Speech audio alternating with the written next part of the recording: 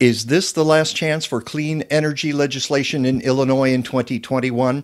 This week on the Mike Nowak Show with Peggy Malecki, we talked to J.C. Kibbey from the Natural Resources Defense Council, Lisa Albrecht from the Illinois Solar Energy Association, and Dave Kraft from the Nuclear Energy Information Service. Can legislators, environmentalists, and the unions get their act together? We stream live on Sunday at 9 a.m. Central. Be there. Aloha.